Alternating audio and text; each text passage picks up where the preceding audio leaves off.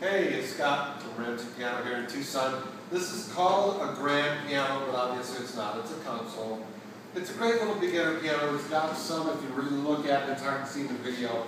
There are some discolorations here in the finish, nothing major. But we just like to point that out. A little bit on the top, a little bit here. But the keys are great. This thing holds a great tune.